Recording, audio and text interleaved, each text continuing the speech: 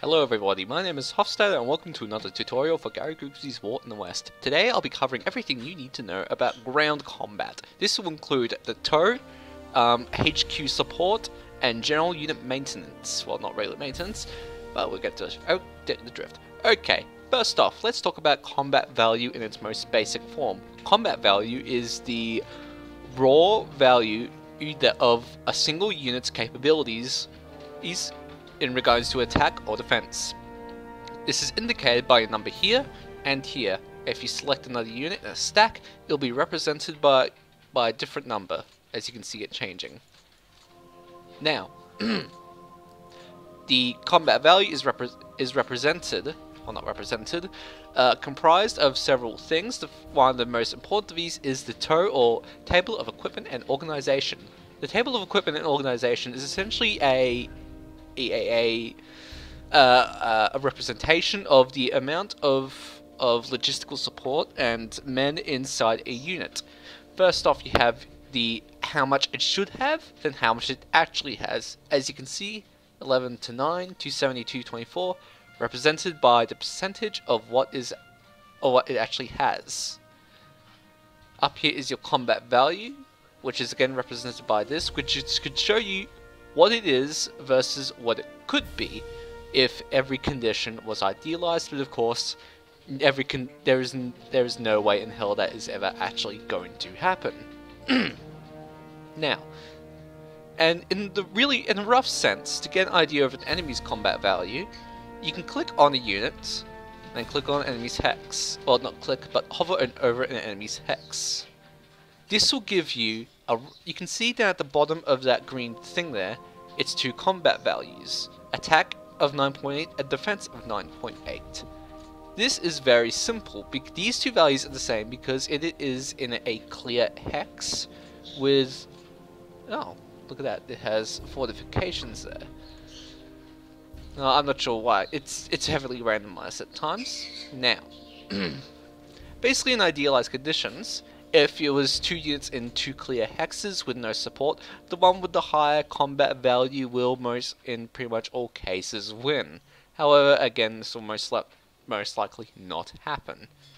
Now, let's talk about what, ha what happens in a battle to change combat values. Let's uh, do an attack.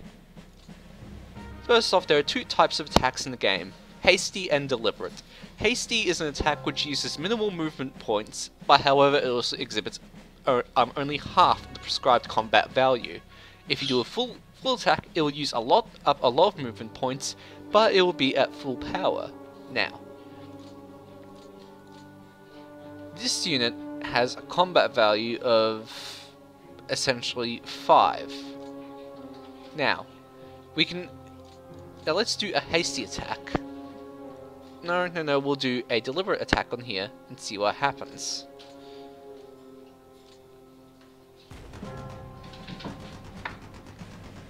Now, let's see what actually happened in that battle. It's this one.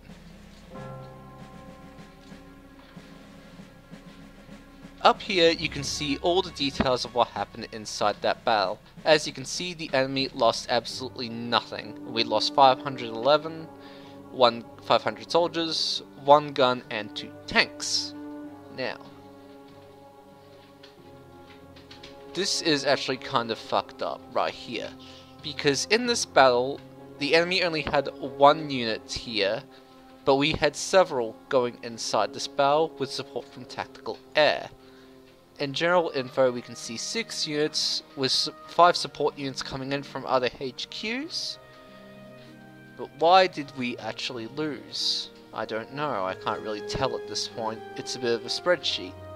Oh, that's why. It's because of the fortification value.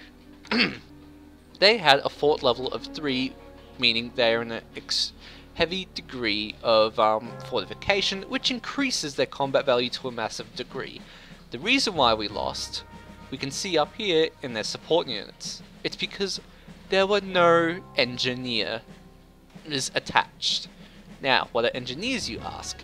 Engineers are a support unit. Now, go back. Now, to assign support units, let's, where was that unit? Ah, that one. As you can see, this has no support units. You can go and assign support units up here. And you can see a list of support units. Now, every single support unit here has a combat value. Um, can we see what it is?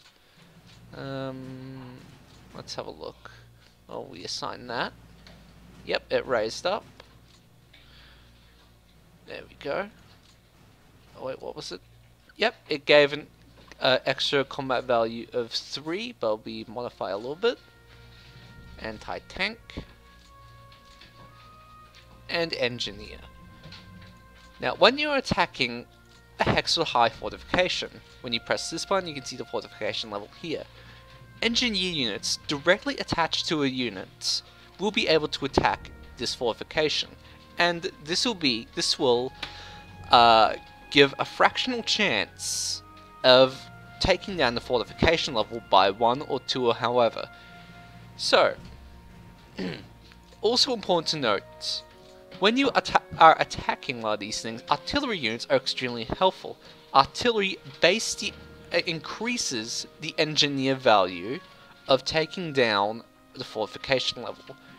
So if you want to purely attack one fortification level, ideally you want to have a lot of engineers and artillery to take down that level, and then bring up some units with tank and other base CV increasing things to bring it to finally bring that fucker down. Now, let's talk. Let's talk about rivers. Rivers are essentially uh, a, a nightmare. You can. I think engineers can reduce the penalty that attacking across rivers does, but I'm not too sure. Let's have a go at it. Does this have engineer units? Let's attach two engineers one artillery. Bring up these two and they'll deliver deliberate. Yep. And it was reduced down to one, but they still managed to hold because attacker combat value. Oh my god.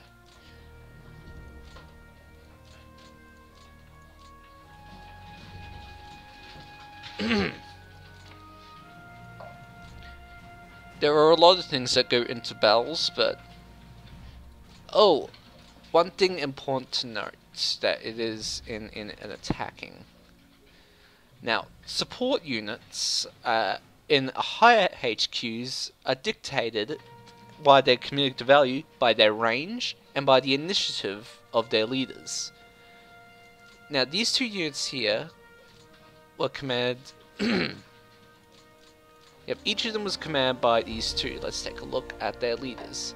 This one has an initiative of 5, which is craptacular.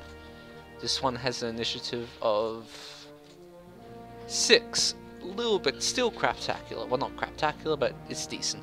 Basically, this means they're not going to commit that many units to a attack. When leaders with a high initiative are able to commit more units, essentially. Now, let's see if we can find a place that doesn't have a massive fortification level. Uh, they're too weak. This is the Bulge to the Rhine scenario, so it's a little bit... Ew. I can't remember how I did this. Ah, yep, let's do it with these. Let's see what they have. These will have values. Now, this is going to give... This should work. I don't see why it wouldn't. Of course it wouldn't. Defending forces held. You can see up here the com... Oh my god. up here you can see the total amount of combat values. As you can tell this didn't exactly have a high combat value to begin with. 542 to 778. So even if... I'm not sure if I'm not sure if this is considered when bringing up this value here, but if it's not, then we will have lost anyway, because this is only 542 to 778, and now this one is down minus 300. Yeah, fortification can screw you over a lot because it essentially multiplies the value. It did not help that these units don't have any engineer squads at all. Yeah, not a single one of them has a friggin' engineer squad, so they they didn't really have a hope in hell of taking him out.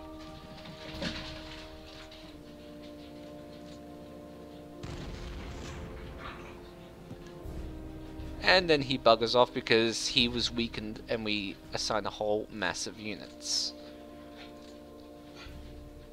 Let's look at that battle again. No. Defending forces held. How would change? I don't know how to change.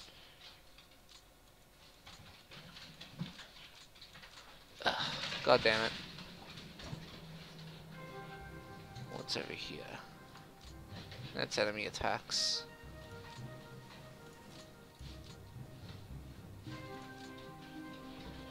Uh, let's, let's do something over here.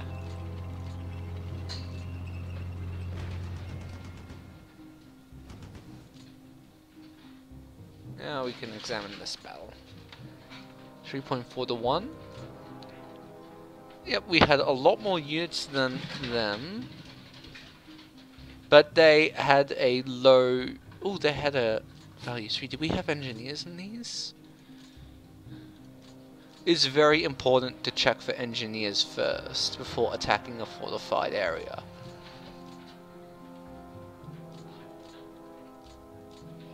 No, then maybe someone committed the engineers. Who are these guys? No. What the hell? Let's go back and see what was actually committed. Oh, yep. the XVUS Corps, um, the, the, the one over here, committed two engineer units. That means that's why they were able to take down the the value. They also had a fair bit of field, two units of field artillery. And these did not have much. This, these guys did not have much artillery at all to begin with, because if if a unit in an enemy combat zone has a lot of field artillery, artillery, their field artillery value is multiplied by a lot. This is because they're safe and in a single spot. However, if this does not apply for any reserve artillery that is coming in to help, it has to be inside that fortified hex for it to be multiplied. That is basically for anybody doing a defending defending role. Now, let's talk about, let's show reserve units. Do we have any reserves around here? Oh, can we bring up experience, supplies, fuel, ammo, units. Oh, units attached. Ah.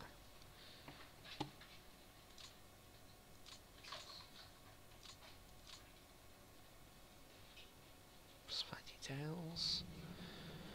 Morale. Okay, well, combat is very, very abstracted in this game. It's very hard to tell what is going on because even if you do have a lot going on for your unit, it has good support, it has a high initiative value or a high infantry and mechanized value, oh, something to mention. Me mechanized infantry values are basically uh, a bonus that gives for um, the type of units. For instance, this guy is only good for infantry, so you'd mainly want to use infantry to him. If you have a guy with a high with a high armor rating, it will be a good idea to attach a lot as many as many armor units as you can to him. That way he will be able to give a large bonus when attacking. And the same goes for any infantry. Now I'm not happy with how my tutorial is going because it's very hard to to to to, to uh, describe everything that is happening inside a combat situation. I'm just looking over the manual now, see if there's anything to go over. So give me a second. Uh, page 131 fortification levels, we went through that. Combat units. Sorry, just give me a second. Support units, support unit commitments. Let's talk about reserves for a second. if you have an incredibly weak unit, let's say someone with only like one combat value, you can move them over here. And let's say all these were in the same corps. You could commit put there put him as a reserve. If he passes a check when in a an attack, he will be able to be able to join in on this attack. Well, let's see if that'll work. Fort level reduced by 1, defending forces held. Important to note, 1.5 to 1, you only manage to push back an attack if, if the value is 2.0, if the ratio is 2.0 to 1. That's the only time when, it, when a defending unit will retreat.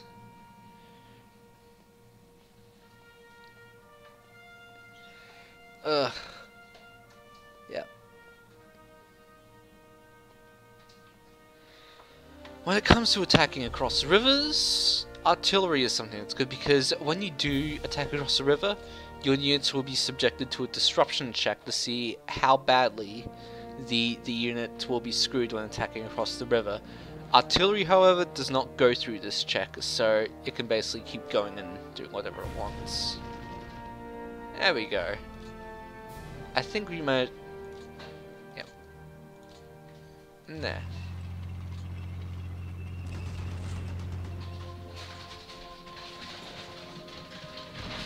Oh, what are my dogs doing? The cool thing about res having reserves, though, did they did they actually go through? I don't think they did. No. Okay, look, this tutorial is really quite sucky I'm really not happy with it, but hopefully you learned something. The manual can explain this section a lot better than I can because all of this is heavily abstracted and most of what I'm trying to explain isn't really shown that well inside the the interface. So hopefully you learned something, but I'm not all that happy with it, so please don't be too pissy because it's kind of shit. Okay. Alright, see ya.